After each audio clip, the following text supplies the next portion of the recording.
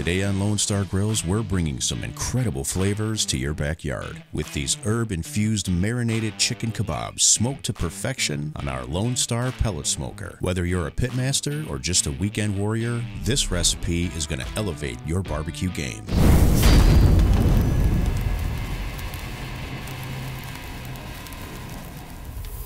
Let's start with our marinade, which is one teaspoon each of salt, black pepper, garlic powder, and onion powder, along with one half teaspoon of rosemary, thyme, sage, and paprika because poultry loves herbs. Place all that into one quarter cup olive oil and mix well until combined.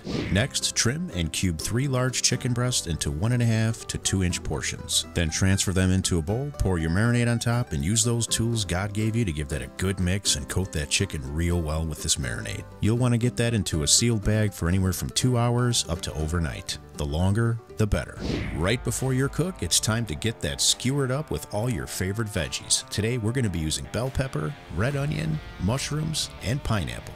And if you've never had smoked pineapple before, you need to give this a try. We'll be doing today's cook on the Lone Star Grillz pellet smoker. This cooker offers offset quality smoke with the convenience of a pellet smoker. For today's cook, we'll be using the bottom grate only. Just preheat your cooker to 275 degrees Fahrenheit. Once it's ready, get your chicken on, close the lid, and begin cooking. This cook will take approximately one hour, but as always, cook to temperature, not time. As soon as your chicken hits a safe temperature of 160 to 165 degrees Fahrenheit, remove it from the cooker and allow it to cool for just a few minutes. Then you can serve it up any way you like. We hope you enjoyed this video. Thank you so much for watching. And as always, if you'd like information on any of our products, we invite you to give us a call or check out our links below.